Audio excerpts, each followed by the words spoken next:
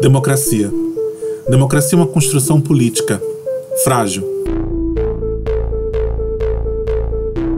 Há quem a constrói e há quem a derruba.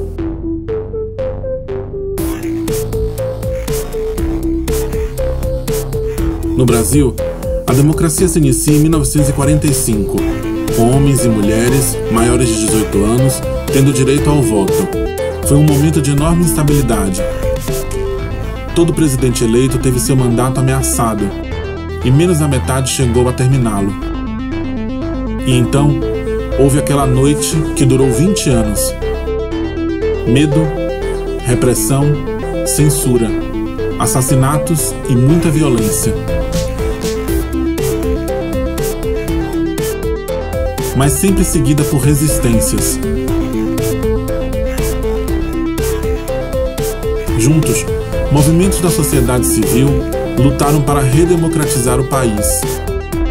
A Constituição Cidadã foi promulgada reconhecendo os direitos da população em sua diversidade. Uma nova moeda favoreceu a estabilidade econômica e programas sociais ampliaram as oportunidades para milhões. Lutas por mais direitos nunca acabaram, assim como a sua violenta repressão. Rivalidades e conflitos não inviabilizaram a solidariedade. Hoje, a cultura democrática parece se esvaziar.